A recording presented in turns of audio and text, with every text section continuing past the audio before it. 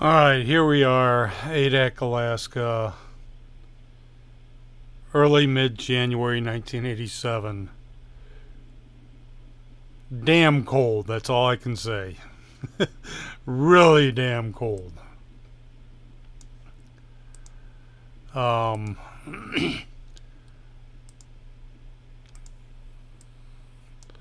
winds got real strong. Uh, As you can see, almost zero visibility on the flight deck.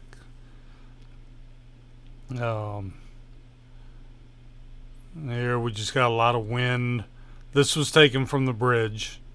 Uh, the guy who did the video for us, he sped this up a little bit just to get through.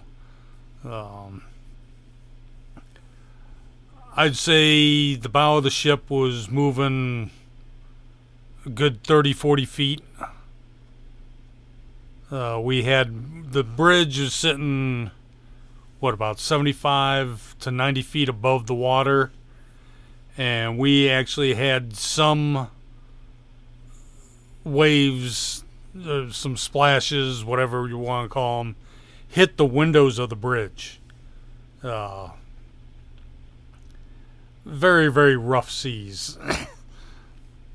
But again, then again, this was the Aleutian Islands, so uh, here we're in a little bit calmer weather, uh, doing a refueling and resupply. Fairly calm seas, but you can see the ship that's uh, refueling us. Um, it's bouncing a good 15 to 20 feet total. There was one area I don't think they cut it on film here where you could see the bottom of the hull at the at the bow at the nose completely out of the water.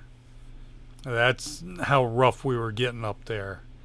Uh, yeah, definitely fun time. Definitely fun time.